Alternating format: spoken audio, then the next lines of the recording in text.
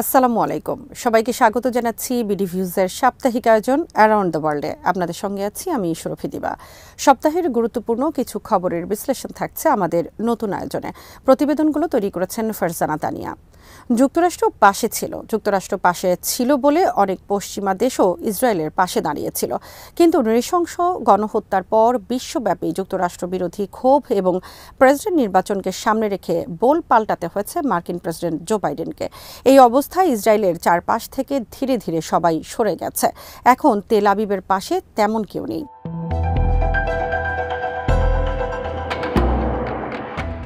সাম্প্রতিক ঘটনা প্রবাহে স্পষ্ট হয়ে গেছে যুক্তরাষ্ট্র এবং ইসরায়েলের মধ্যে টানাপোড়েন চলছে। মার্কিন vice president Kamala Harris, Israeli প্রধানমন্ত্রী বেঞ্জামিন নেতানিয়াহুর রাফা অভিযান পরিকল্পনা এবং গাজায় সহায়তার প্রবাহে বাধা সৃষ্টির সরাসরি বিরোধিতা করেছেন। ইসরায়েল সফরে গিয়ে পররাষ্ট্রমন্ত্রী অ্যান্টনি ব্লিংকেন এবং প্রতিরক্ষামন্ত্রী লয়েড অস্টিনও একই বক্তব্য দিয়েছেন। মার্কিন সিনেটের সংখ্যাগরিষ্ঠ দলের প্রধান চাক সুমার নেতানিয়াহুকে পদ থেকে সরাতে ইসরায়েলের নতুন নির্বাচনের আহ্বান জানিয়েছেন। তার অবস্থানকে সাধুবাদ জানিয়েছে বাইডেনও। ইসরায়েলের বিরোধী নেতারা চাক সুমারের বক্তব্যকে স্বাগত জানিয়ে বলেছেন, এটি ইসরায়েলের সাধারণ মানুষের মনের ভাষা।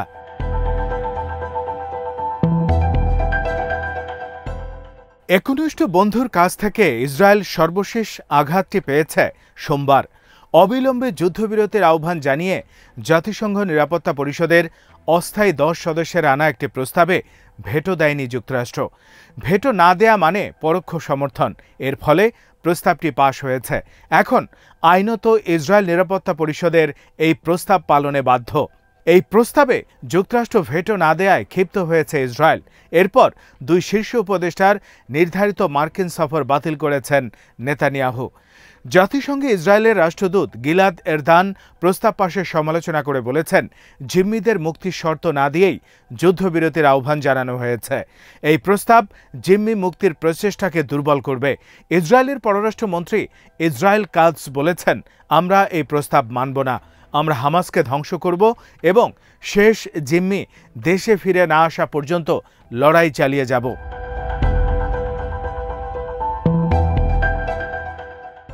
জাতিসংঘ মহাসচিব অ্যান্টনিও গুতেরেস বরাবরই ইসরায়েলি বর্বরতার বিরুদ্ধে অবস্থান নিয়েছেন। তিনি বলেছেন, নিরাপত্তা পরিষদের গ্রহণ করা প্রস্তাব অবশ্যই বাস্তবায়ন করতে হবে। এটি বাস্তবায়নে ব্যর্থতা ক্ষমার অযোগ্য বলে বিবেচিত হবে। জাতিসংঘে যুক্তরাজ্যের সাবেক রাষ্ট্রদূত মার্ক লিয়াড গ্র্যান্ড বিবিসিকে বলেছেন, এই প্রস্তাব পাশের অর্থ হল, ইসরায়েল এখন মূলত পরবর্তী পনেরো দিনের জন্য সামরিক অভিযান বন্ধ করতে একটি বাধ্যবাধকতার অধীনে থাকবে। রাষ্ট্র হিসেবে প্রস্তাবটি বানা ইসরায়েলের জন্য আইনত বাধ্যতামূলক।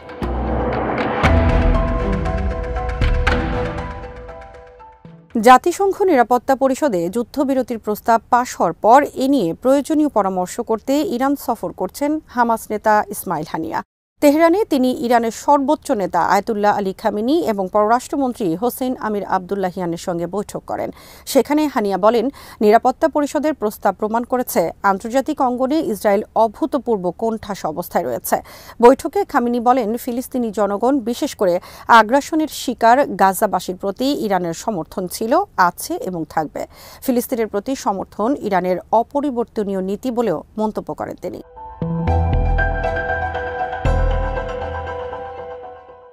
নিরাপত্তা পরিষদের প্রস্তাবকে স্বাগত জানিয়ে বন্দি বিনিময়ে নিজেদের প্রস্তুতির কথা জানায় হামাস। সংগঠনটি বলেন, আমরা একটি স্থায়ী যুদ্ধবিরতির প্রয়োজনীয়তার উপর জোর দিচ্ছি, যার ফলে গাজা থেকে সব ইসরায়েলি সেনাকে প্রত্যাহার করে নেওয়া হবে এবং ফিলিস্তিনিরা তাদের বাড়িঘরে ফিরে যাওয়ার সুযোগ পাবেন। বিবৃতিতে বলা হয়েছে, অবিলম্বে বন্দি বিনিময়ের প্রক্রিয়া শুরু করার ব্যাপারে আমাদের প্রস্তুতির বিষয়টি নিশ্চিত করছি।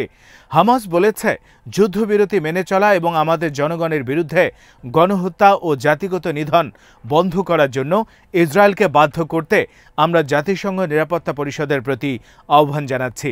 এই প্রস্তাবে ফিলিস্তিন প্রতিরোধ আন্দোলনগুলো খুশি হলেও এর তীব্র সমালোচনা করে নেতানিয়াহু বলেছেন হামাস নির্মূল না হওয়া পর্যন্ত তারা গাজায় অভিযান চালাবেন।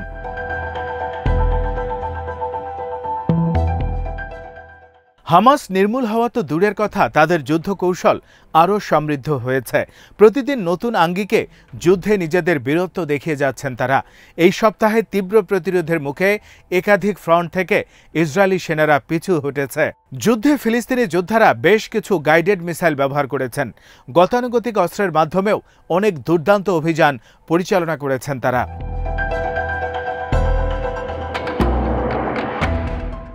গাজা সিটির আল শিফা মেডিকেলে ইসরায়েলি অভিযানকে কেন্দ্র করে সপ্তাহেরও বেশি সময় ধরে মুখোমুখি যুদ্ধে অবতীর্ণ হন তারা। সেখানে বেশ কয়েকটি ইসরায়েলি ট্যাঙ্ক, ড্রোন ও সামরিক বুলডোজার ধ্বংস হয়েছে ফিলিস্তিনি যোদ্ধাদের হাতে। তাদের স্নাইপারদের হাতে কয়েকজন ইসরায়েলি সেনা নিহত হয়েছে। প্রতি সপ্তাহের মতো এই সপ্তাহেও ইসরায়েলি সেনাদের অবস্থান নেয়া কয়েকটি ভবন বোমায় উড়িয়ে দিয়েছেন তারা।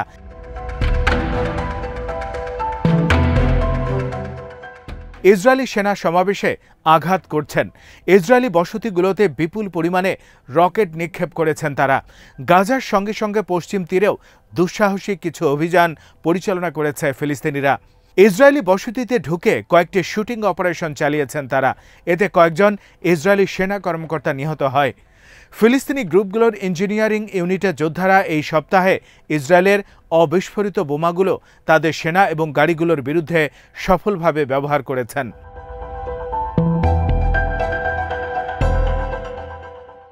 গাজায় ইসরায়েলি বাহিনীর চরম ব্যর্থতার কথা নিজ দেশের বিশ্লেষকরা বারবার বলেছেন। এই ব্যর্থতা নিয়ে অনেক নিবন্ধ প্রকাশিত হয়েছে ইসরায়েলি দৈনিকগুলোতে।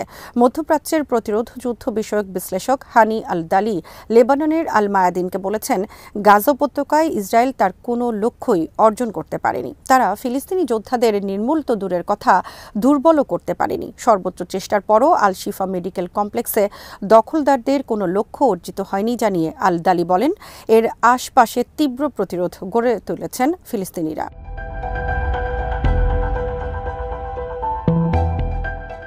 যুদ্ধের ময়দান কিংবা বিশ্ব কূটনীতি সব দিক থেকেই ইসরায়েলের অবস্থা নাজেহাল।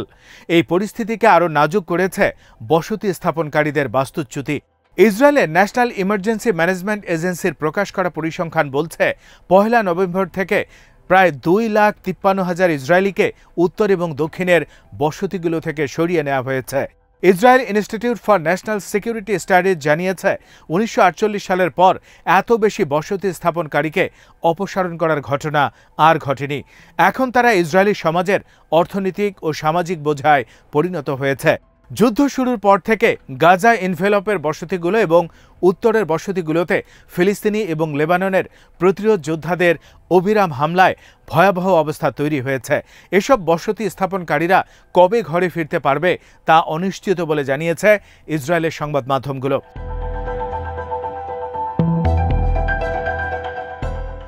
ইসরায়েলের উত্তরাঞ্চলকে ভুতুরে এলাকায় পরিণত করেছে লেবাননের প্রতিরোধ আন্দোলন হিজবুল্লাহ।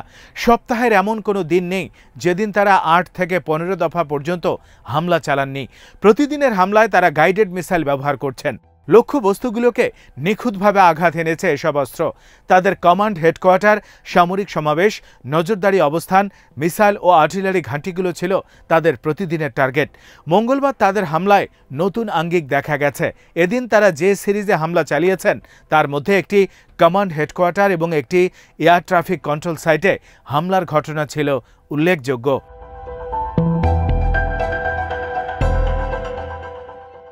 গাজা যুদ্ধ শুরুর পর প্রথমবারের মতো এই দিন হিজবুল্লাহ ইয়ারদিন ব্যারাকের মতো কৌশলগত ইসরায়েলি অবস্থানে হামলা চালান।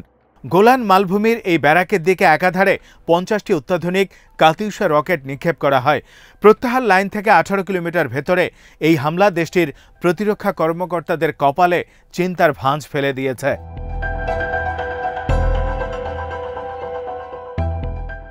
মার্কিন ও ব্রিটিশ হামলায় থেমে যাওয়ার পাত্র নয় ইয়েমেনের হুথি আনসারুল্লাহ। নিজেদের উপর যতবার হামলা হয়েছে, ততবারই হামলার পরিধি বাড়িয়েছেন তারা। বুধবার গ্রুপটি জানিয়েছে, আগের বাহাত্তর ঘণ্টায় তারা ইসরায়েলের এইলাত শহর এবং লোহিত সাগর ও এডেন উপসাগরের ছয়টি জাহাজে হামলা চালিয়েছেন। হুথি মুখপাত্র ইয়াহিয়া সারি বলেছেন, দক্ষিণ ইসরায়েলের এইলাতে কয়েক ডজন ব্যালিস্টিক মিসাইল নিক্ষেপ ছাড়াও ড্রোন হামলা চালানো হয়। তারা ছয়টি মার্কিন ও ব্রিটিশ জাহাজে গাইডেড মিসাইলের মাধ্যমে মাধ্যমে আঘাত হানেন। ফিলিস্তিনি জনগণের সঙ্গে সংহতি জানিয়ে তাদের হামলা অব্যাহত থাকবে বলে জানান ইয়াহিয়া সারি।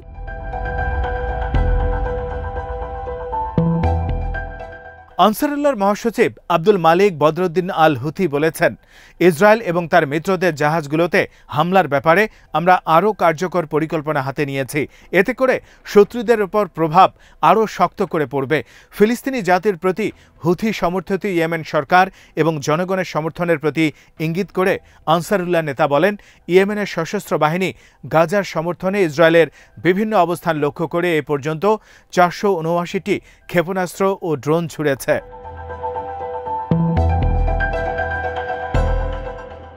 আর প্রতিদিনই ইসরায়েলে বড় পরিসরে হামলা চালাচ্ছে ইসলামিক রেজিস্ট্যান্স ইন ইরাক। এই সপ্তাহে তারা ইসরায়েলের ওভদা বিমান ঘাঁটি এবং স্পের সামরিক অবস্থানে ড্রোন হামলা করেন। রোববার ইসরায়েলের নিরাপত্তা মন্ত্রণালয় লক্ষ্য করে ড্রোন হামলা চালান তারা। এর আগে তাদের যোদ্ধারা ইসরায়েলের প্রধান বিমানবন্দর বেন গুরিয়ানে একাধিকবার হামলা করেন।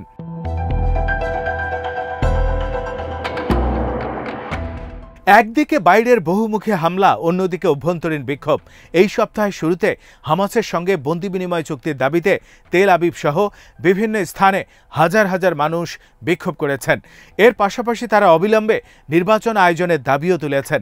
খবরে বলা হয়, নেতানিয়াহু সরকারের বিরুদ্ধে তেল আবিবের প্রাণকেন্দ্রে বিশাল বিক্ষোভ হয়।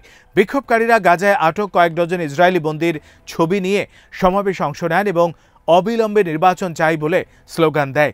রাজধানীর অনেক গুরুত্বপূর্ণ সড়ক অবরোধ ছাড়াও বিক্ষোভ হয়েছে জেরুজালেমে নেতানিয়াহুর বাসভবনের সামনেও। কিছু কিছু স্থানে বিক্ষোভ সহিংসতায় রূপ নেয়।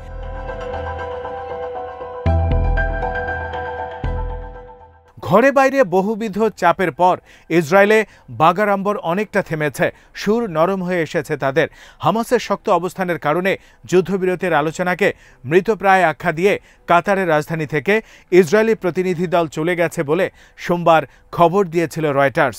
কিন্তু এরপরই হামাসের হাতে বন্দি চল্লিশ ইসরায়েলের বিপরীতে সাতশো থেকে আটশো ফিলিস্তিনিকে মুক্তির ইঙ্গিত দিয়েছে তেল আবিব। এই অবস্থায় হামাসের সঙ্গে একটি যুদ্ধবিরতিতে পৌঁছার সম্ভাবনা রয়েছে বলেও জানান ইসরায়েলি কর্মকর্তারা।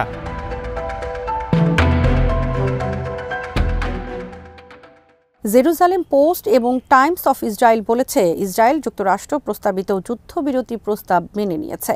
এক কর্মকর্তা টাইমস অফ ইসরায়েলকে জানিয়েছেন, এর আগে যে সংখ্যক ফিলিস্তিনি বন্দীদের মুক্তি দেওয়া হয়েছে, এবার তার দ্বিগুণ, অর্থাৎ আটশোর কাছাকাছি ফিলিস্তিনি বন্দীকে মুক্তি দেওয়া হতে পারে।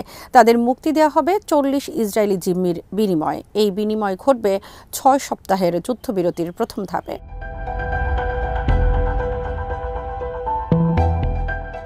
হামাস তাদের তৃতীয় দফা থেকে কোনোভাবেই সরছে না। দফাগুলো হলো স্থায়ী যুদ্ধবিরতি, গাজা থেকে পুরোপুরি সেনা প্রত্যাহার এবং বাস্তুচ্যুত ফিলিস্তিনিদের নিজ ঘরবাড়িতে প্রত্যাবর্তন। অন্যদিকে, বন্দি বিনিময়ের বড় ছাড় দেওয়ার চিন্তা করলেও গাজা থেকে পুরোপুরি সেনা প্রত্যাহার বিষয়ে ইসরায়েলের গড়িমসে রয়েছে। এই কারণে সম্ভবত চুক্তি নিয়ে তেমন আশাবাদী হতে পারছে না কাতার। দেশটির পররাষ্ট্র মন্ত্রণালয় মঙ্গলবার বলছে, প্রচেষ্টা চলমান রয়েছে, তবে কবে নাগাদ চুক্তি হতে পারে, এ নিয়ে আমার কাছে কোনো আপডেট নেই। তবে আমরা আশাবাদী।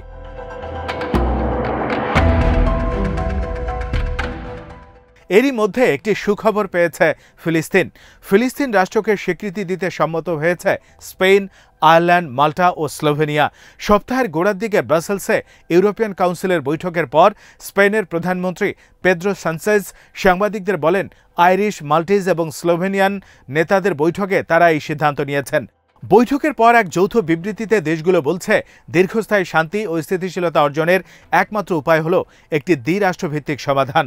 এর মাধ্যমে ইউরোপীয় ইউনিয়নের সাতাশটি দেশের মধ্যে দশটি দেশ বর্তমানে উনিশশো সাতষট্টি সালের সীমানা অনুযায়ী পশ্চিম তীর গাজা ও পূর্ব জেরুজালেমকে অন্তর্ভুক্ত করে একটি ফিলিস্তিন রাষ্ট্রের অধিকারকে স্বীকৃতি দিল। দু হাজার তেইশ সালের দোসরা জুন পর্যন্ত জাতিসংঘের একশো সদস্য দেশের মধ্যে একশো দেশ ফিলিস্তিন রাষ্ট্র রাষ্ট্রকে স্বীকৃতি দিয়েছে।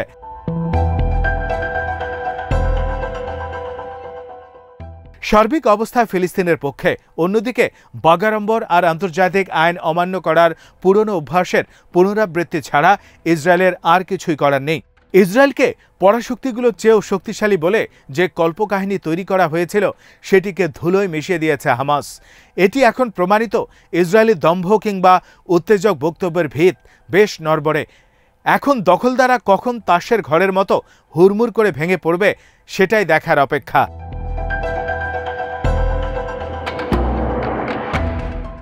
আজ এখানেই শেষ করছি। সবাই ভালো থাকুন, সুস্থ থাকুন, আর দেখতে থাকুন বিডি ভিউজ চ্যানেলটি। ভালো লাগলে সাবস্ক্রাইব করুন। সংযুক্ত থাকুন আমাদের ফেসবুক পেজে আল্লাহ হাফেজ।